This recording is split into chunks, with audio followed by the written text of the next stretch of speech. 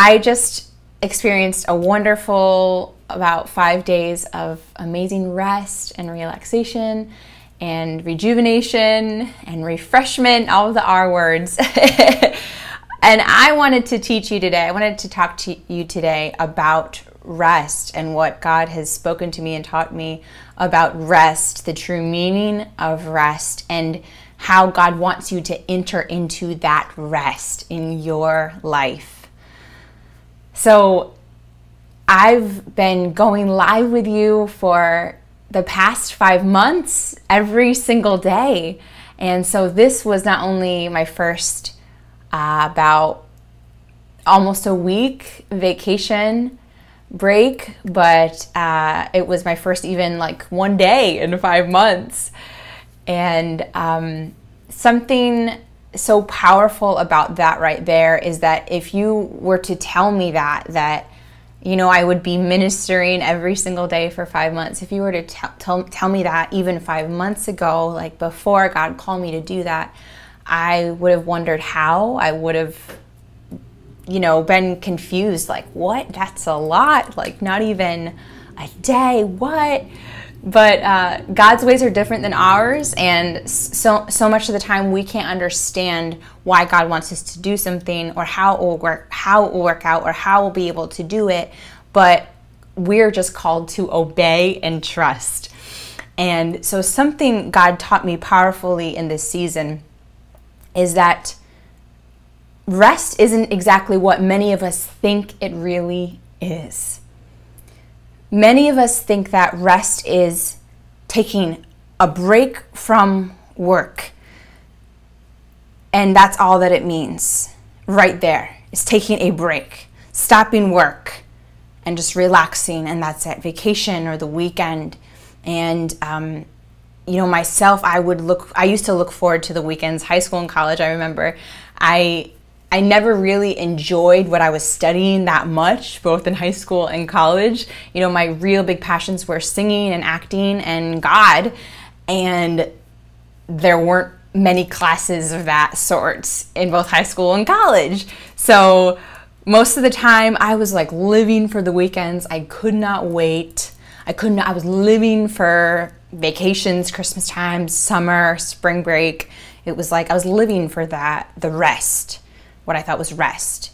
Um, and and even when God after that after that once I was working and doing the uh, act starving artist life, you know, um, serving, hostessing, um, I was living for vacation. I was living for breaks, for rests, because I wasn't enjoying the work. I wasn't enjoying the work and it felt difficult um, and it felt like um, not much was being accomplished, like not much fruit was being accomplished with the work I was doing. It was just, you know, frustrating and just not enjoying it. And so I was living for vacation, rest, you know. Um, even when God called me to ministry, even when He called me to ministry, that was a time I really did look forward to rest. I remember when Sundays would be over at first. In the beginning, I was like, yes, oh, I'm so excited. I have a day to rest now, a day to relax that's done with because uh, m- preaching and ministering was so unnatural for me. It was so, it felt like such my weakness. So you have all of these like the nerves and uncertainty and the what ifs and and everything. So it felt like such an effort. Um, but you see, God took me through a journey from then till now, teaching me how to enter into His rest, His true, true rest. Not society, what considers, not what society considers rest, but God's true rest.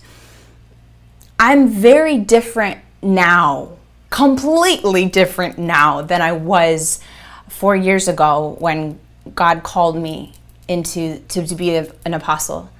I'm very, very different. Um, he has taught me now how to enter into rest. God's true rest.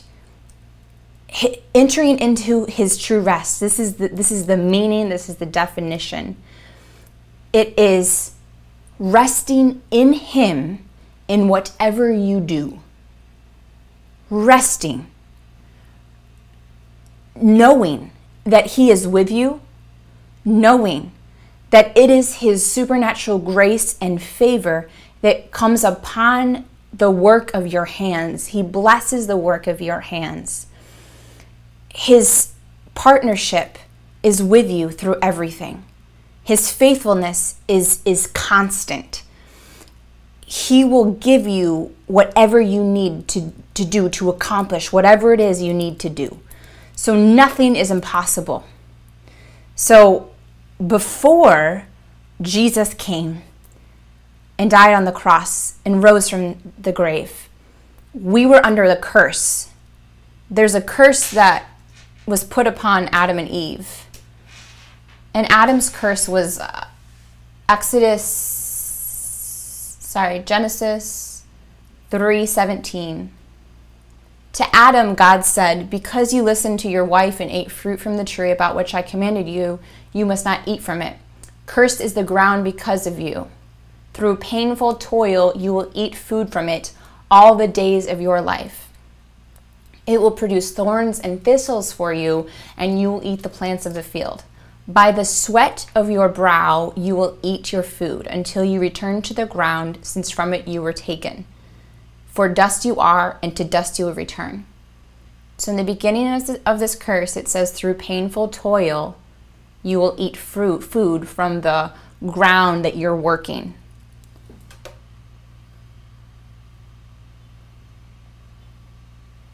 Through painful toil. Through painful toil.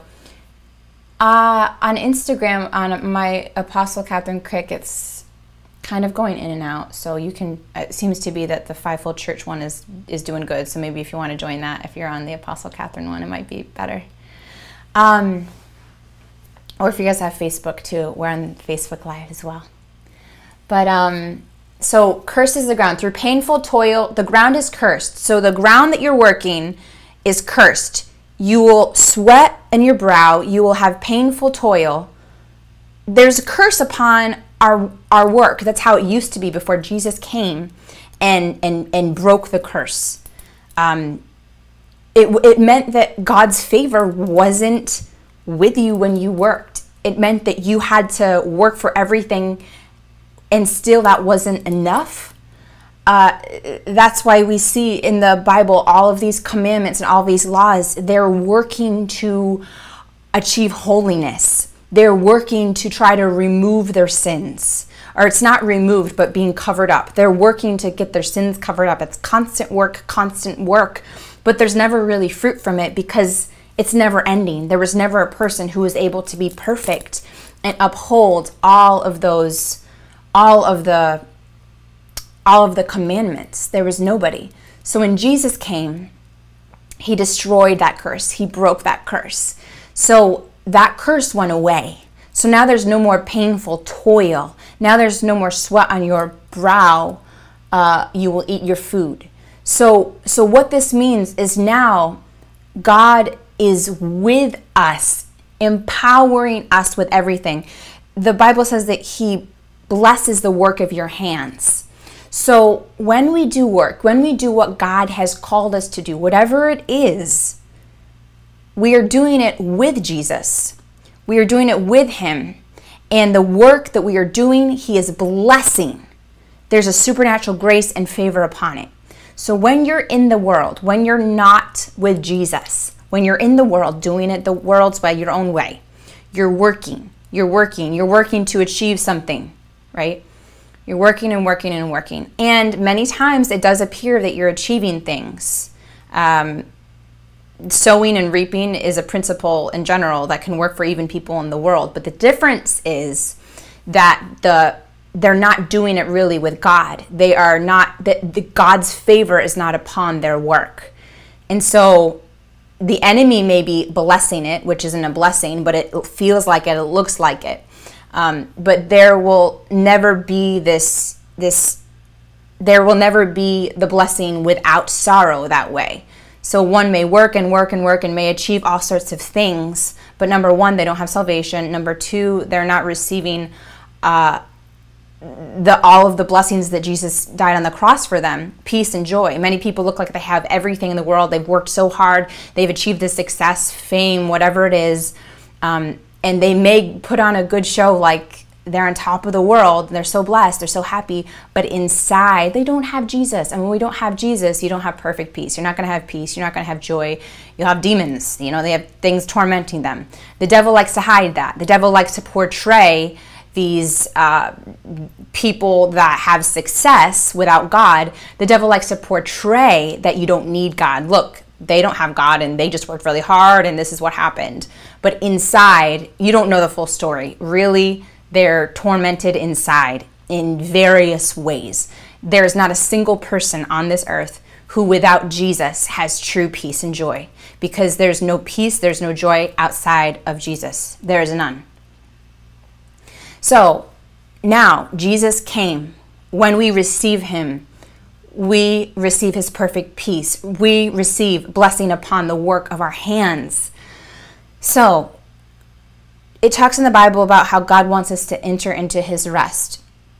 Hebrews 4 9. There remains then a Sabbath rest for the people of God. For anyone who enters God's rest also rests from their works just as God did from his. It goes on to say, So then, let us make every effort to enter into this rest. This is not, now the old covenant, it, it, it's talking about Sabbath, seventh day. You must rest from all of your activities. That's the, that's the only time you're resting. It's, it's this day of the week. That's what they did in the old covenant. And it was this law. But then Jesus comes with a different way, a new way. He breaks the rules. He comes and he starts doing work, he starts doing ministry. That's work. He's doing the work of God, he's doing ministry on the Sabbath. He's healing people on the Sabbath. And the Pharisees call him out. The Pharisees are like, the Bible, God says no work on the seventh day. What are you doing? So here we see Jesus starting to rewrite what resting really means. So when it talks about entering into God's rest, it's talking about living every single moment, resting in Him, knowing He is with you, He is blessing the work of your hands. It's not your work that is achieving anything, but it's God's blessing upon your work. It's the combination. But there, it's not about your your works. And it's knowing that it's not about how things appear. That that the fruit you might not see it physically, but it's building up in the spiritual realm. And one day you'll start to see that fruit in the physical realm. God's blessing is upon it even when you don't see it in the physical realm. You know, you, are not seeing the success visibly in the physical realm, but God's blessing is upon every single thing you're doing. So then you you because you're resting in this, you don't you're not concerned when you don't see certain results. You don't compare yourself to other people. Other people have uh, certain success. They're going higher in a certain area. And you're working hard on something and you're not seeing that success. You're, you're comparing yourself. But when you enter into God's rest, you know God's ways are different than our ways. And God says that He's blessing the work of my hands. God's called me to do this. And so it's not about what I'm seeing in this moment, but it's about obeying God, knowing He's blessing my work. And there are things building up in the spiritual realm. We are moving forward. Progress is being made. Fruit is there in the spiritual realm. We're right on track. And so when you're in this awareness, you you're just completely resting. You're you're not worried, you're not worried about your performance. You're not second guessing yourself like am I doing enough? Did I prepare enough? Um, you're not thinking about what if I mess up? What if I don't say the right words? Whatever it may be. You're resting knowing God is with me. He's called me to do this.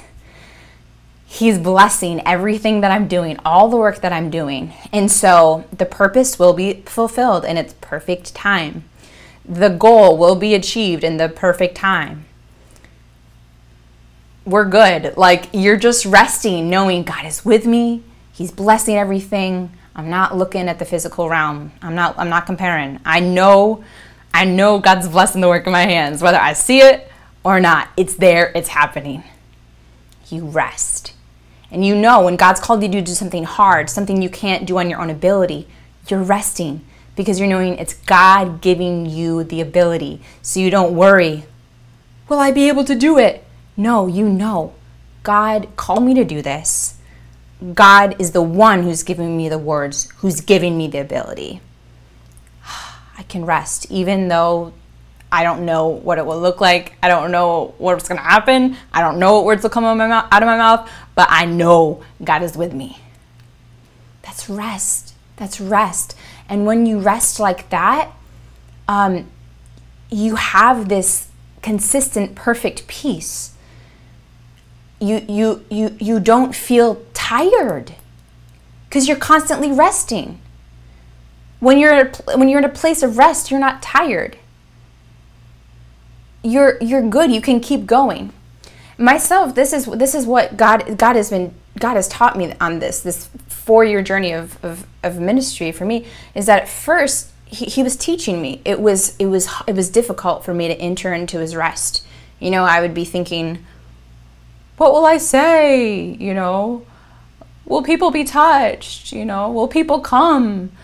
How will this be? And did I prepare enough? You know, I'm thinking these things, and that's not completely entering into his rest. I was there a little bit, I knew He was with me, but I have these, you know, thinking about my own efforts, my own abilities going on. I'm thinking about that a lot. And so, because I haven't entered into His rest completely, I'm feeling that physical need of, I need a break, I need rest, I need a vacation, I need a weekend. You know, I'm feeling that like I need. The reason being is because I'm not completely entering into His rest. But you know what's really cool is that what's really amazing is that um, these past five months I've been here with you live every single day, and I I felt the most rested of my whole life. It's because I I, start, I started to learn how to really enter into God's rest. It's amazing. Like I going into this vacation, I didn't even feel like I like I needed it. And I thought that is interesting, you know, like I've I've been working so much more than ever in my life, times a million, you know? Um, and in the past, I felt like I really needed a break. I felt like I really needed a vacation or a weekend, whatever, day off.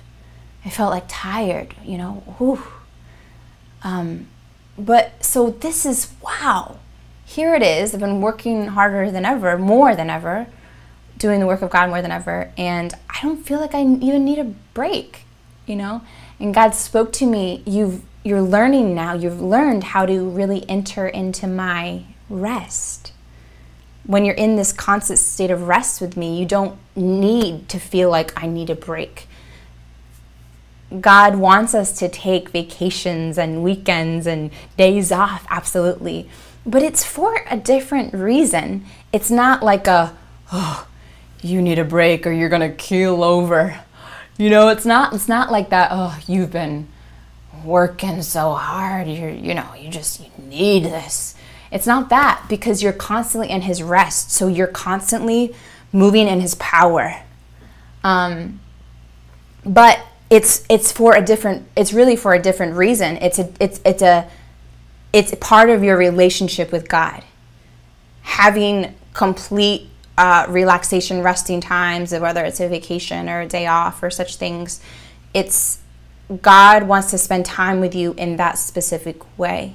Sometimes God wants to speak to you, He needs you to quiet your mind completely, distance yourself from all the things you're doing, works, ministries, and everything, and completely quiet your mind so He can speak to you, speak new things to you.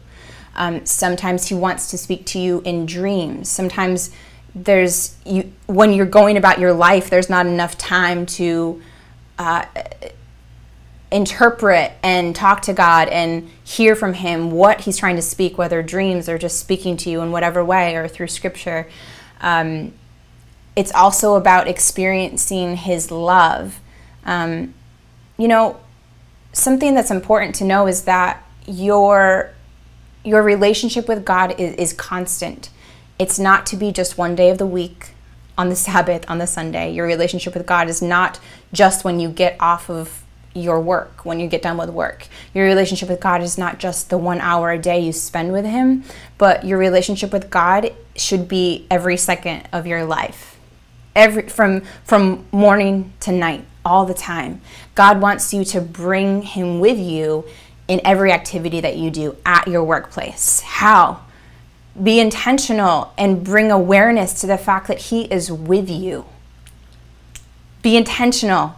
Open your ears to hear Him say, I love you. I'm proud of you. Directing you, communicating to you. Much of the time, that is simply reminding yourself of the Word of God bringing that to memory many times that's actually the way that we're hearing god. But you need to be intentional to renew your mind with his word. That's hearing him is you going that's op- that's the action of opening your ears is renewing your mind with his word is remembering bringing to remembrance making yourself aware of his word, what he has spoken. In his word, the Rhema word, the promises of God, bring that to mind. That's many times how he's actually speaking. So you can be doing this anywhere in the car, at your workplace. You can constantly be bringing awareness to the fact that he's with you. Once you do that, as you're opening your ears, now you're engaging with him all the time. Now you're listening to him all the time. Now you're speaking to him all the time. If you're not in a place where you can speak out loud, you can speak to him in your mind. If you're like at work or something, you can you can do that when you're going to the bathroom all the time. You should have this relationship with him all the time. Um, so so something that's very important to know is that when you're working, when you're doing what He's called you to do, this is part of your relationship with God. Many people don't realize this, and this is the place, this is the secret place where I've grown so close to God. Is is is this awareness that He is with me as I'm doing what He's called me to do, the work. This awareness that He's proud of me, um, that we're doing something together, partners um, that people are being touched. And we can like rejoice in that together god and me you know rejoicing um, the kingdom's advancing. I can rejoice with god in that. You know i can see god being touched. You know your your spouse or best friend you have you know if you can see them be touched in something see them how a wonder in their eyes looking at a beautiful sunset and you look at them and you see them like oh like that's intimacy, that's relationship. So that's how it is with God. That's how it should be with God. You know, when you're doing what God's called you to do, whatever He's calling you to do, whatever mundane thing it is, whatever God has called you to do, it's for the kingdom. If it's behind the scenes, if it's technical work, it's touching His kingdom. So, um, doing these things and experiencing his power through you, strengthening you. Wow, God. You're you're helping me do this. You're with me. Like this is relationship with God. I this is a place I've grown so close to God and gotten to know him so much is is actually doing work, resting in him, doing work with him. I like to think of it as um, when you get married, um, you know, you have the honeymoon but then it's time to go back to the real world and you're doing work and then you have kids and you're taking care of the kids and there's so many tasks you have to do in the home outside of the home but you're doing it together. You're, you're that's part of your relationship. Your relationship is not just on date night. Your relationship is doing all the work together. And you can grow so much when you can be aware to this fact when you can connect with each other in this relation in the in the work in the tasks that you're doing, connecting, you know, seeing the partnership in it. So when you're working, God is with you. That's your relationship with God. It's very important you be aware to this because God wants to, God, God actually wants us to work hard. He wants us to work hard and a lot, but not in the way that many people think. Many people think leave him at the door, work hard, and then pick up your Bible, do devotions at nighttime, and pray or in the morning, and that's your relationship with God. No, no. God wants you to work hard for Him, including Him, being in relationship with Him in the work. So that's your relationship with God. Part of your relationship with God is working, but then there's also a time of resting. That's part of your relationship with Him too. Both.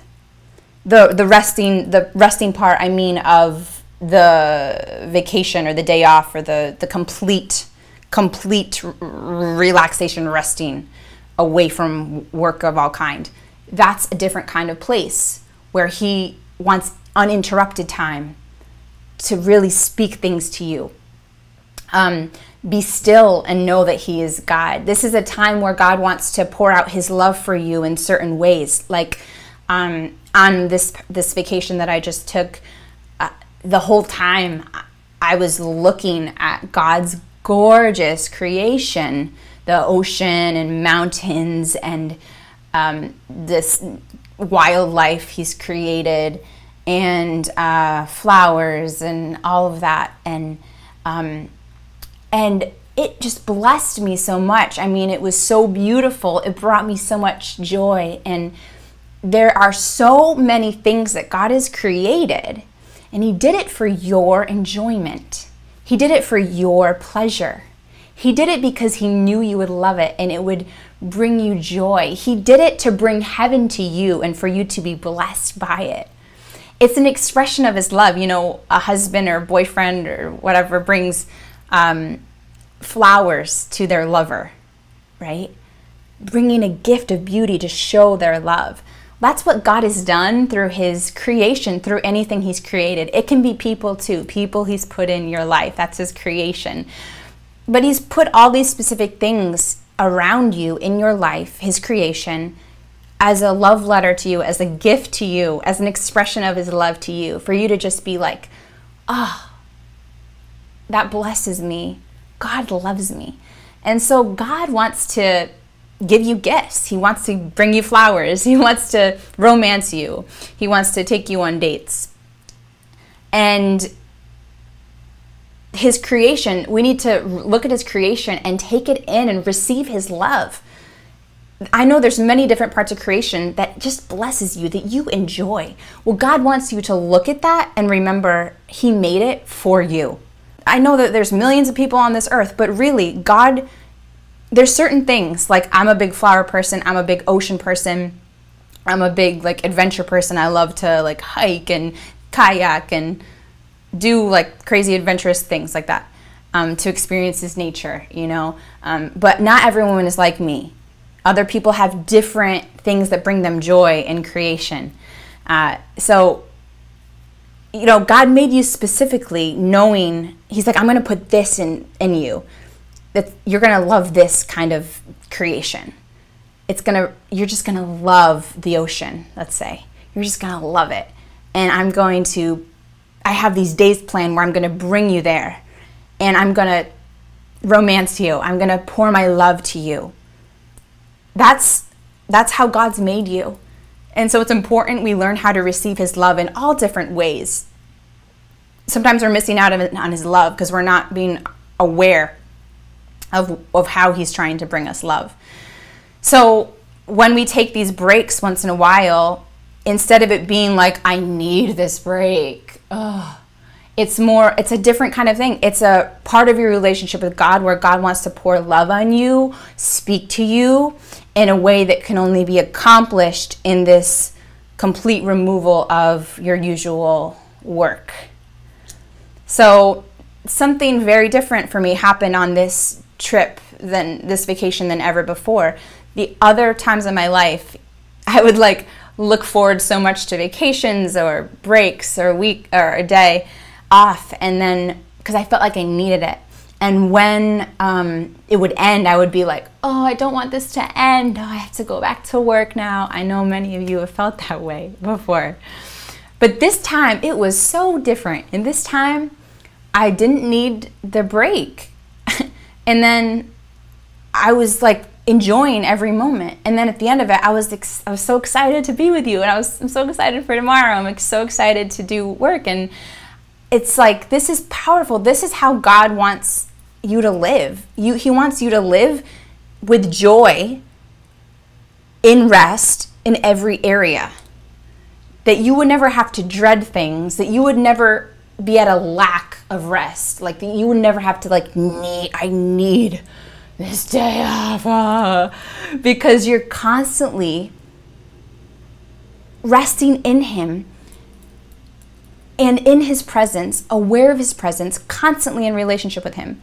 The Bible says in Exodus 30 Exodus 33, 14, the Lord replied, My presence will go with you, and I will give you rest. So his presence is with you everywhere.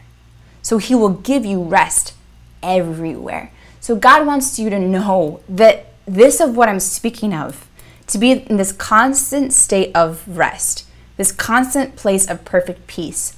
It is possible and it's what he wants for you. It's his will for you. And it can take a time, it can take a process. For me, it took a while to learn how to really enter into his rest. But sometimes these these stretching moments, these moments where God calls you to do an extended amount of work, sometimes he's he wants he's trying to teach you how to enter into rest. He's trying to teach you to fully rely and depend on him and get out of your own works, your own performance. He's stretching you. He's having you show up continually, showing up See, I'm with you every time. See, there's no need to worry. See, I'm I'm putting favor upon your work. See, see, see, see, until you get it. Until you get it. Until you get it that He is with you all the time. That He will come through every time. He will give you the ability every time. There will be fruit every single time. Now you're in a place of complete rest. Now you're in this place where you're ready to do anything because God is with you, empowering you. Hallelujah. Hallelujah. Thank you, Jesus. Hallelujah. So, I'm excited for what God's going to do in your life from this word. I'm excited for what God is going to do with this new revelation that you have. Hallelujah. I know you're entering, a new chapter right now where things that felt really hard, God has opened up your eyes. He has opened up your eyes today to enter into his rest in a new way. Hallelujah. Thank you, Jesus. I declare that eyes, every eyes opening, every eye watching right now would be open. Every spiritual eye would be open more and more, God, to the, the revelation, the reality that you are with them. You are with them. You are giving them grace. May they find joy in the work that you called them to do. Oh, may they find joy. May they enter into relationship with you through the work, through every moment. May they enter into relationship with you in Jesus' name. I declare your spiritual senses to be sharpened right now that you would remember to remind yourself, to bring to awareness that God is with you. Hallelujah. Thank you, Jesus. Thank you, Jesus. Thank you, Jesus. Thank you, Jesus. Thank you, Jesus. Hallelujah. Hallelujah. Hallelujah. Hallelujah. Thank you, Jesus. May you receive power and strength to do whatever it is that God's called you to do in Jesus' name. May you no longer work from your own strength, your own ability, or performance. May comparison end from today. In Jesus' name, may you enter into God's rest always. May you know his perfect peace always. Receive his peace and his joy right now in Jesus' mighty name. Hallelujah in Jesus.